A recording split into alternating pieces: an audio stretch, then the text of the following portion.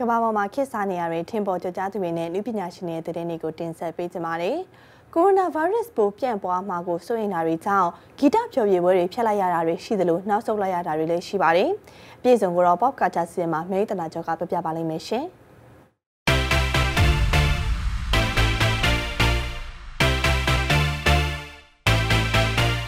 ကမ္ဘာနဲ့ကူးစက်ပြန့်ပွားနေတဲ့ကိုရိုနာဗိုင်းရပ်စ်ပိုးကြောင့်လူများများမစုဝေးဖို့နိုင်ငံအသီးသီးမှာကြေညာချက်တွေထုတ်ထားသလိုအမှုပညာဖျော်ဖြေပွဲတွေကိုလည်းရက်တွေရွှေ့ဆိုင်းထားရတာပါ။ဒါပေမဲ့ဒီလိုရက်ရွှေ့ဆိုင်းတာတော့မှကိုရိုနာပိုးကူးစက်ပြန့်ပွားမှုကရက်ရှည်ဆွဲနေမယ်ဆိုရင်ဘယ်လိုလုပ်ကြမလဲဆိုတဲ့မေးခွန်းတွေထွက်ပေါ်နေပါတယ်။လောလောဆယ်ပွဲရက်တွေရွှေ့ဆိုင်းမှုအကြေညာထားတဲ့ထင်မှာတော့ဗြိတိန်နိုင်ငံကနာမည်ကျော် Glastonbury ပွဲတော်မပါဝင်ပါဘူး။ ကျေပြောကျေပြန့်တဲ့မြက်ခင်းပြင်ပေါ်မှာနှစ်စဉ်ကျင်းပနေတဲ့ဒီဂီတပွဲတော်ကိုကျင်းပနေကြအတိုင်းဇွန်လမှာကျင်းပသွားမှာဖြစ်တယ်။ဒီပွဲတော်မှာဘယ်သူတွေလာပြီးတော့ဖျော်ဖြေမယ်ဆိုတာတွေကိုသူတို့ပြောသွားခြင်းညာသွားခဲ့ပါတယ်။ဒီပွဲတော်ကိုအင်္ဂလန်နဲ့အနောက်တောင်ပိုင်းဆမ်မဆက်ဒေသက Worthy Fan ရာခင်းမှာကျင်းပတာဖြစ်ပြီးတော့မနစ်ကဆိုရင်လက်မှတ်3,300ခွဲကျော်ရောင်းချခဲ့ရပါတယ်။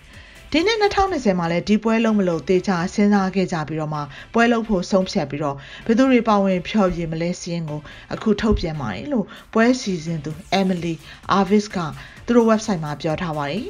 ဒီမှာအရင်ကတည်းကပြောထားတဲ့နာမည်ကျော်အဆိုတော်တွေဖြစ်တဲ့ Paul McCartney တို့ Taylor Swift တို့ပါတယ်လို့ Diana Ross, Kendrick Lamar, Dua Lipa နဲ့ Camila Cabello တို့နာမည်တွေကိုလည်းသူတို့ကြေညာလိုက်ပါတယ်။ ဒီနေ့ဇွန်လမှာကျင်းပမယ့်ပွဲတော်ဟာနှစ်90မြောက်ပွဲတော်ဖြစ်ပြီးတော့ဒီပွဲကျင်းပဖြစ်အောင်စ조사လှုပ်ဆောင်နေပါတယ်လို့လည်း website မှာရေးထားတာပါ